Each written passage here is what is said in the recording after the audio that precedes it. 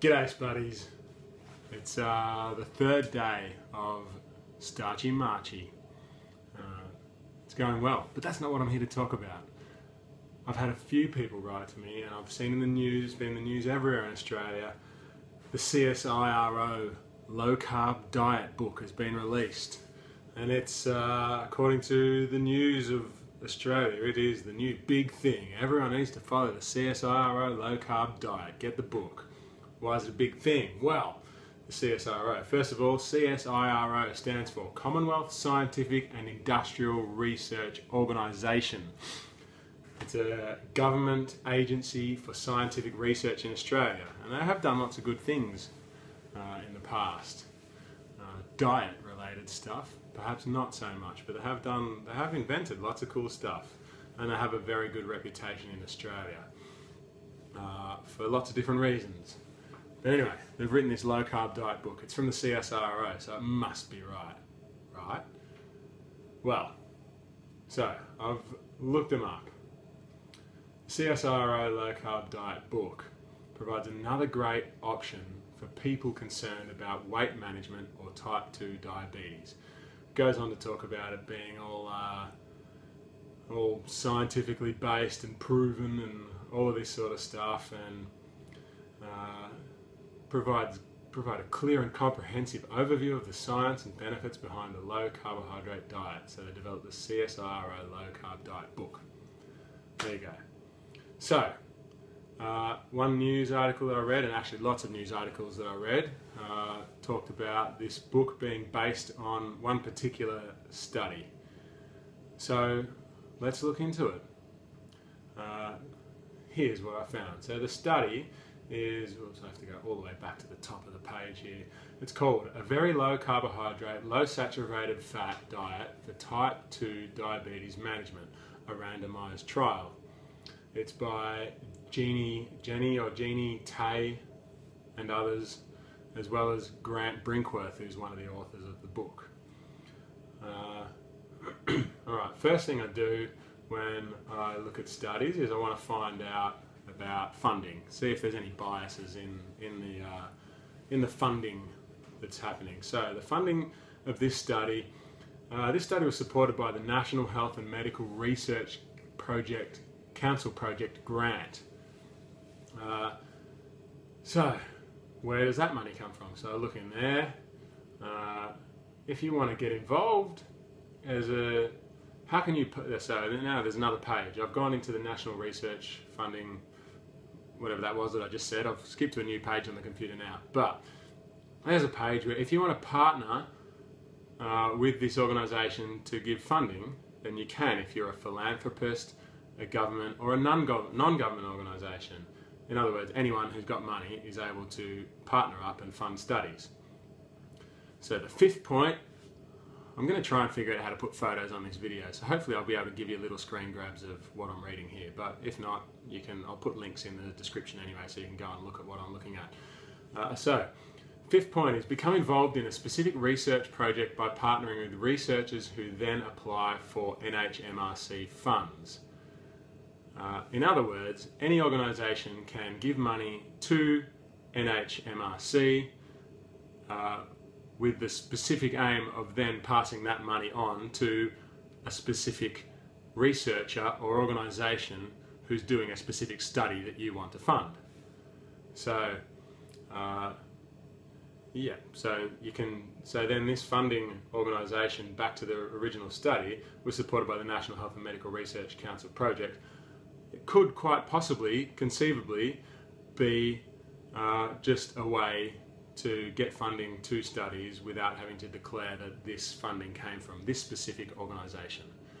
Uh, it goes on there to say in, in the first one it says no sponsor in the study itself sorry no sponsor or funding source had a role in the design or conduct of the study of the study collection management and analysis or interpretation of the data or preparation, review or approval of the manuscript.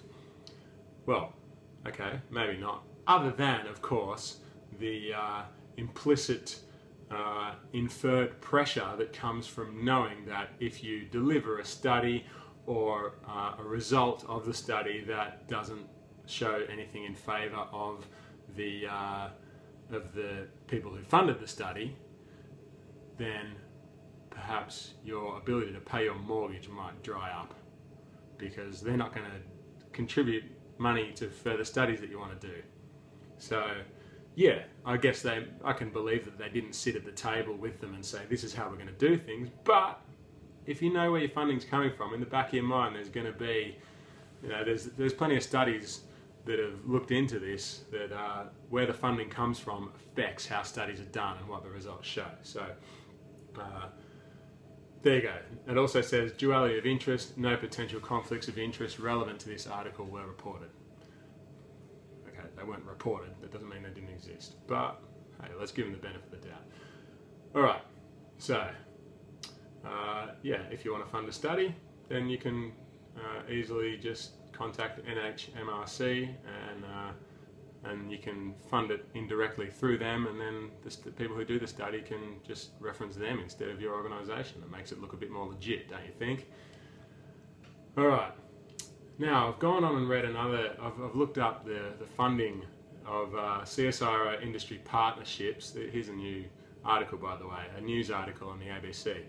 CSIRO industry partnerships help science agency cope with funding cuts. So a couple of years ago, this was majority funded by the government, this agency. And the government of Australia basically stripped as much funding as they could. They just, they gutted the organisation, they gutted the funding and left them with not much to do. So as a result, the organisation is trying to stay afloat and they've decided to partner with industry. Uh, so a quote from the article, the value of CSIRO's partnerships with industry has surged by a third from $135 million in 2013-14 to $181 million in 2014-15. I dare say, it's 2017 now, I dare say the, the uh, value of the corporate partnerships has gone up. Uh, Dr. Keith McLean, the CSIRO's manu manufacturing director, said the organisation is investing in growth areas which are more likely to get a commercial return. In other words, they are doing their best to make money out of partnering with corporate uh, corporate uh, bodies uh, to produce favourable science, so they get paid for it. That's that's the way I read into that. So, uh, a lot of this, you know, we have to put a lot of blame on the government for creating the situation where a, a previously uh, independent um, science organisation is these days far from independent. We, we know that because of their funding model. Uh, all right, so uh, here's a page from the CSIRO's own website. Nutrition, the nutrition and health section of the website says the first thing it says if your goal is demonstrating the health benefits of existing or new food ingredients, foods, diets, diets, or technology products that are cost efficient and appealing to your end user, then CSIRO can help. So, if, if you're a food producer or trying to promote a diet, CSIRO can help you make it look good. That's how I read into that. We can help you produce some favourable science so that you can sell your products. Is that, can you be any more blatant? All right, so who does a low carb diet uh, benefit then? What does a low carb diet promote? Uh, if you're going to eat a low carb diet, you typically, you can do it on plant foods, but you're going to have to include a lot of oils. But typically, a low carb diet includes lots of meat, dairy, and egg products.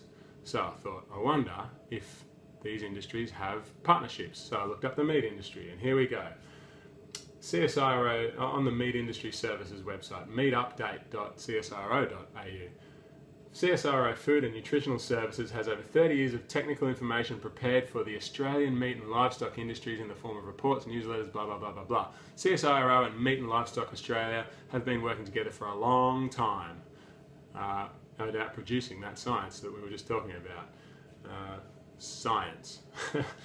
All right, another page from their industry, uh, from the Meat Industry Services website, is it says uh, our, about our partners. There's three partners there. One of them is CSIRO. CSIRO Food and Nutritional Sciences is Australia's largest and most diversified food research organisation. It is committed to turning scientific research into innovative studies for the food industry in Australia and overseas. Through its science, it supports the health and well-being of consumers. Uh, I don't know if that last sentence is right, but yeah, they certainly work for the food industry, as it says there. they don't work for the consumers they work for the food industry. The food industry funds them, the food industry gets the results they want. What else is a low carb product? Dairy products are low carb. So, back to the CSIRO's own website now. Dairy, creating new opportunities for industry. The first sentence on there. CSIRO's Food Innovation Centre explores the science of milk to create commercial opportunities for new dairy products. In other words, they've got a partnership with Dairy Australia, and the whole aim of the partnership is to promote and help Dairy Australia make money. That, that is the aim, according to that first sentence. That's what they're there for.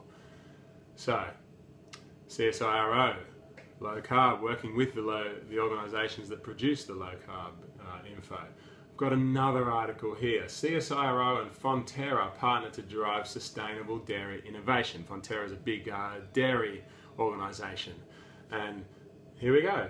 Fonterra and, uh, and, and CSIRO are partnered up and have been for a long time. And the whole aim of the partnership is to help dairy make money. All right. What's another typical low carb product? It is eggs is another all right, and here we are. We've got a partnership between eggs and the CSIRO, between the Australian egg industry, and they've actually produced a, an ad, advertisement, sorry, a YouTube video. Uh, they've produced a little promotional video. Uh, it's called CSIRO links higher egg consumption to better quality diet and a highlighted sentence here. The Commonwealth Scientific and Industrial Research Organisation and Professor Manny Noakes have revealed new findings which show that higher egg consumption is associated with having a better quality diet.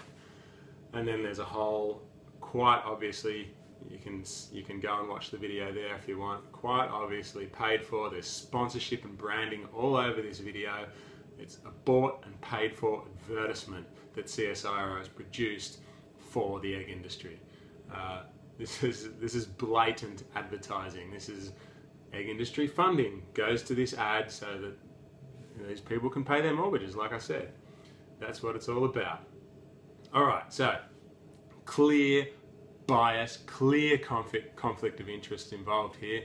So let's go back to the study that supposedly prompted the CSIRO and, and Grant Burke, Burkworth, Brinkworth, Brinkworth, Grant Brinkworth uh, yeah, there he is, Grant Brinkworth. Uh, so this study supposedly prompted them to produce to confirm that oh, low carb diets are the best. We proved it with this thing, so now we have to make this book. All right, low carb diet. Let's just go straight to this. We've been through conflict of interest. Let's just go straight to the study design. The low carb diet uh, produce, uh, used 14% of energy as, as carbohydrate, 20% of energy as protein, and 58% of energy as fat. Okay, that's fairly low carb. I think probably true low carbers like keto people and that would probably prefer less than 14%, but that's still pretty low. So we can probably say that's, if it's not truly low carb, then it's close to it, close to being low carb. Uh, yeah, so there you go. 58% of energy is fat. Then you move on to what they call the high carb diet. High carb, I presume they're supposed to mean low fat too.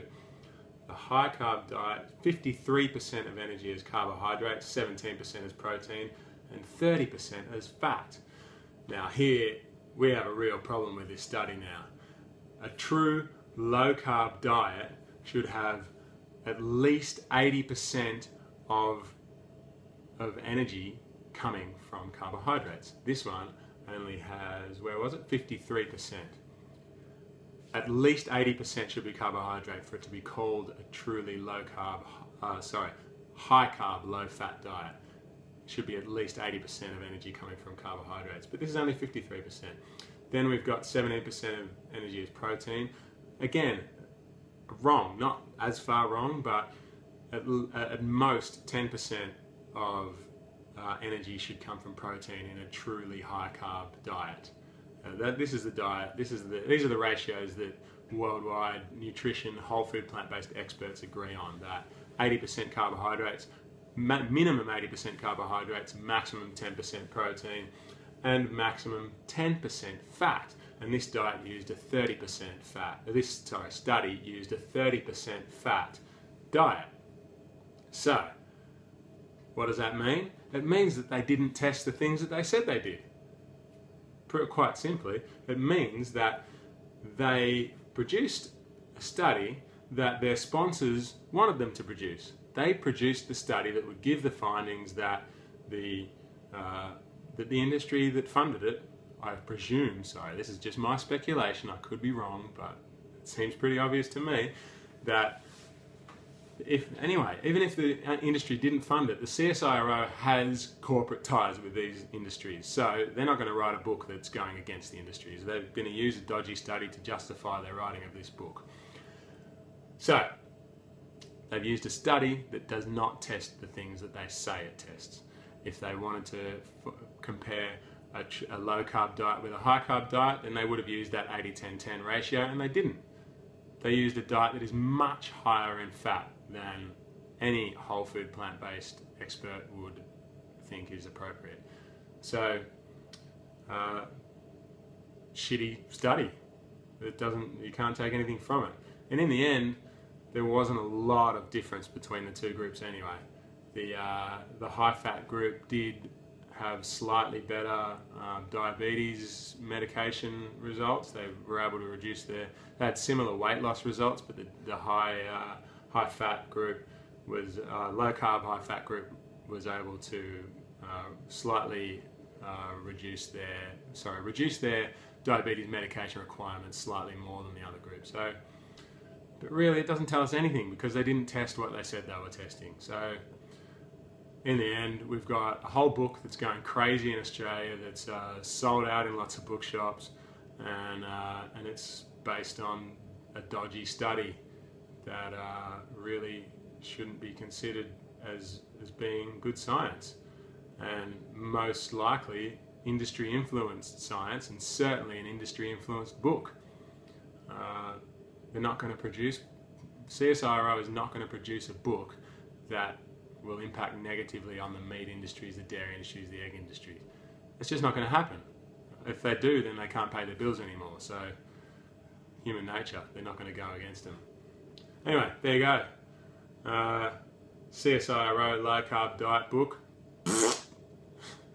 Sorry, Grant Brinkworth, you're better than this. Well, maybe not, but you should be. Come on, Grant Brinkworth. Come on, CSIRO. Do something real. Do something that that's actually backed up by science. Stop misleading the public. People trust you, and you're letting the public down. Stop it.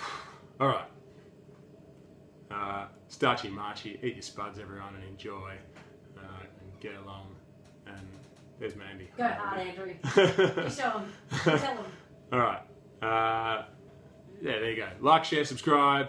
Go to spudfit.com and sign up for the newsletter. And spud up, everyone. This video's been long enough. I hope you're having a good time. I hope you're enjoying Starchy Marchy. Starchy Marchy. Go and enjoy your run, Mandy. I will. Bye, everyone. Spud up!